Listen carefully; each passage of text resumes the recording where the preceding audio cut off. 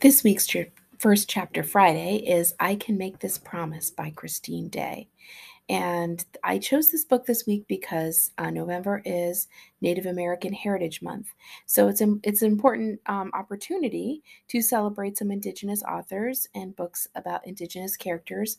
And I also think it's important to um, uh, choose a book like this one because it's about um, modern day um, Native Americans and I think a lot of people's experience reading books and stories about Native Americans have been people who live in the past or people who live in other countries. And um, I, I want to make sure that people that that folks have some experience reading about what life really is like in the modern day for Indigenous people in the United States.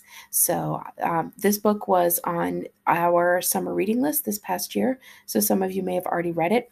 It also won the um, American Indian Library Association um, Youth Literature Award. The dedication in this book says, For the grandmothers and mothers who came before me. Prologue Where are you from? I never thought this is this is Athena, by the way. Hi, Athena. I never thought of myself as different until my first day of kindergarten. I remember round tables with flimsy tops, Plastic chairs with shiny metal legs, books, and stuffed animals were gathered around a fake tree in the reading corner. Cloud shaped mobiles hung from the ceiling, strands of paper raindrops suspended in midair. A bright yellow sun was painted across one wall.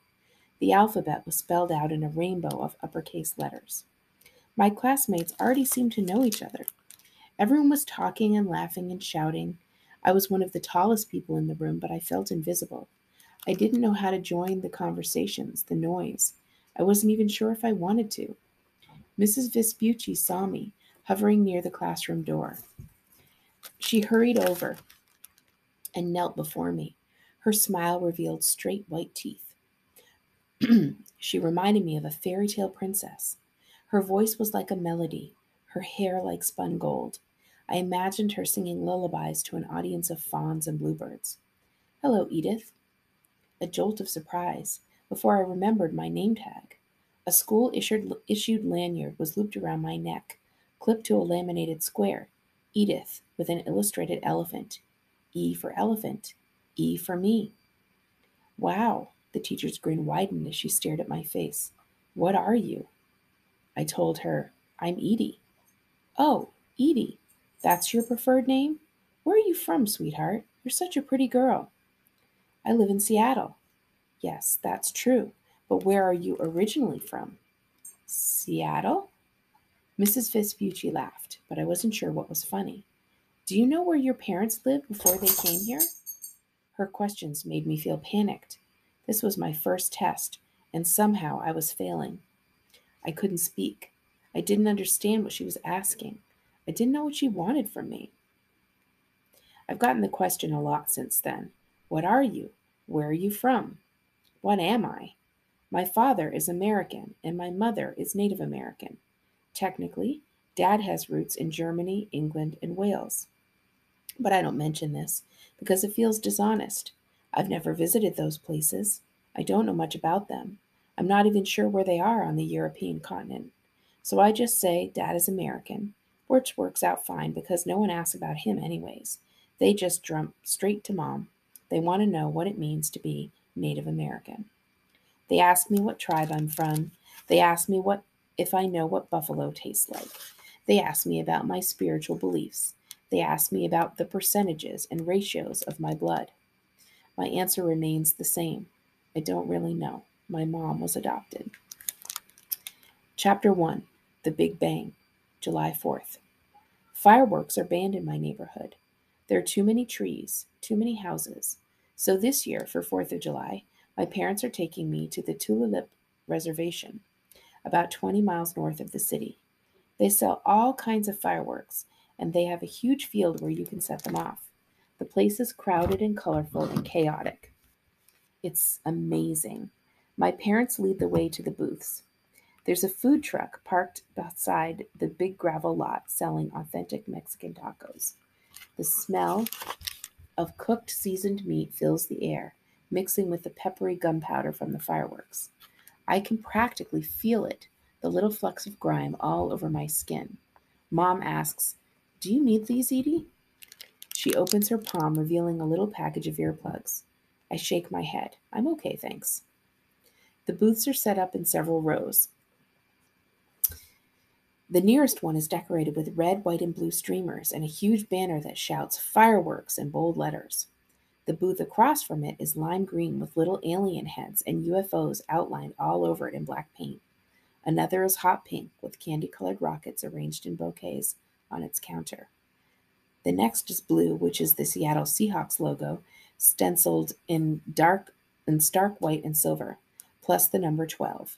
The one is shaped like the Space Needle. I like this graffiti. I like the bright colors, the bold lines. I wonder if they created drawings and stencils first, or if they just grabbed their cans of spray paint and improvised. I also wonder if they keep sketchbooks or have favorite places to draw like I do. I'm always curious about other artists and their habits, their unfinished drafts, their inspirations. As we keep moving, I can't help but drink it all in. I've never been to a reservation before. Each person I make eye contact with feels significant. It's possible some of them are distant relatives. I could be walking past cousins or aunties right now, and I wouldn't even know it. A rock and roll version of the Star Spangled Banner starts blaring out of nowhere, and I glance around myself, trying to find the speakers. But as the loud electric guitar mimics the sound of Oh Say Can You See, I instead notice a food vendor with signs that say they have traditional Native American fry bread. I stop and stare. The line is huge. The menu is handwritten on a whiteboard. An ice filled cooler contains sodas and bottled lemonades. There are two open counters one where you pay, one where you wait for your order. I watch as the girl received her food. The fry bread is a rumpled golden brown disc served on a paper plate. It almost looks like an elephant ear. As the guitar transitions to a choppy, what so proudly we hailed, Something knocks into the back of my legs. I stumble and turn around. A dog peers up at me with watery, bloodshot eyes. He's panting hard, and he his fur is mangy, and he looks ha- but he looks happy, surprisingly calm. I thought all dogs hated fireworks, but he doesn't seem to mind the noise or the chaos. He just looks a little lost. I extend my hand to him. Hi, puppy. He lifts his big nose, sniffs my fingers, pushes his snout against my palm. His tail wags ferociously as he inches closer. That's a good boy, I say. You're a good boy. I check his neck, but he isn't wearing a collar. I glance around. Cash registers chime, and the sound of laughter are eclipsed by a huge boom. Shoes crunch across the gravel. A group of men walk by in mismatched baseball jerseys. A teenager adjusts her sunglasses. Her colorful beaded bracelets slide down her brown forearm. A guy with two long dark braids is wearing a Batman tank top. A toddler is in mid meltdown, hands clamped over her ears, face crumpled as she cries out. Poor thing, I murmur. I stroke the dog's head, distracted. Where's your owner? The rock and roll version of the Star Spangled Banner is no longer recognizable. The guitar riffs have dissolved into wails. It doesn't sound like O'er the Ramparts we watched. It doesn't sound like anything, just crashing notes and frantic energy. I turn in the other direction, and an older woman catches my gaze and holds it. She's seated on a stool at the edge of the crowd. Her t shirt bears the message Find our missing girls. Huh, I wonder what that's about. Edie? Mom's voice cuts through the blaring guitar and blasting fireworks. What are you doing? She places her hand on my shoulder and gently steers me away. Honey, you can't pet random dogs like that. It's not safe. Look at how big he is. He might hurt you. Dad's behind her. Your mother's right. I know he's cute, but you need to be careful. But he's alone, I say. Shouldn't we help him find his way home? Someone will come for him, Mom says, and I can barely hear her as the guitar screeches. Don't worry. She tugs me away, but I look back. The dog sits in the middle of the walkway. His ears perk up, and his tongue lolls out of the corner of his mouth as he watches me leave. We stop at a booth called The Big Bang. The words are spelled out in swollen graffiti font. The letters are big and puffy and white, and they remind me of squished marshmallows. A brown skinned teenager stands behind the counter. He's wearing a white tank top and has a little barbell pierced through his eyebrow. He grins as if he's genuinely happy to see us.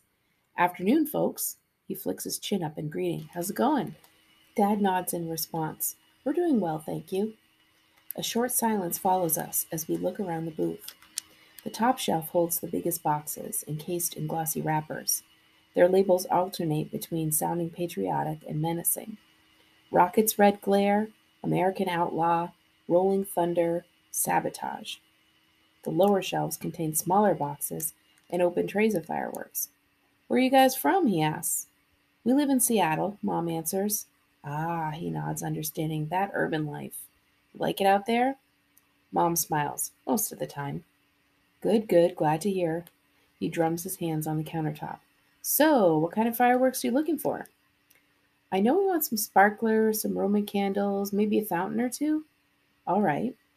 He turns to his lowest shelf and grabs two trays, tilting them forward to reveal their con- contents. I have these two kinds, he says. One tray is filled with bundles of slender gray brown sticks. The other has bundles of hot pink sparklers. The top half of each one is wrapped in dyed magenta yellow teal tissue paper and laced with a gold ribbon. We pick the pretty ones, then select some Roman candles and two stubby fountains. The boy places the long cardboard box on the counter before us and starts piling our stuff inside it. Anything else? Both my parents look at me, and the boy does too. I feel the heat rise in my cheeks. I go rigid under their scrutiny. Edie? Mom asks. Her voice is gentle, a half whisper at most. I glance at the shelves and shrug, feeling awkward. I wish I, she, she wouldn't have said anything. I hate being put on the spot in front of strangers. the boy snaps his fingers. Here, he says, how about this? He crouches behind the counter. I can hear the scrape of crates sliding across the ground. He straightens back up and he stands directly across from me, smiling. Ever seen one of these before?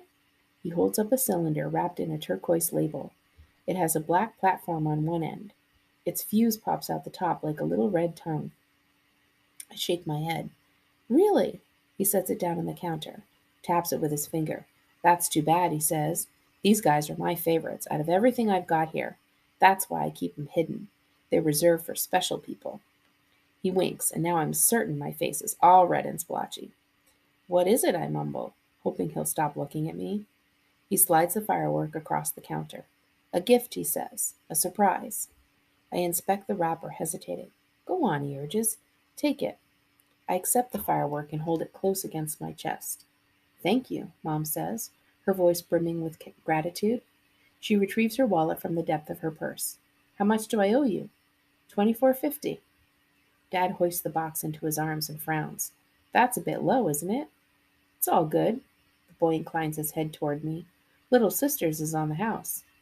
My parents protest. They want to pay him the full amount, but he waves their offer away. He says, Don't worry about it. Just take care of yourselves out there. And he sounds like he really means it. So, check out this book at our library. It actually um, has a little bit of a mystery component to it. Um, the um, main character, Edie, and her friend find a box in the attic with some really mysterious things in it that cause them to kind of question um, her heritage and what may or may not have happened to her mother when she was Edie's age. So come and check it out.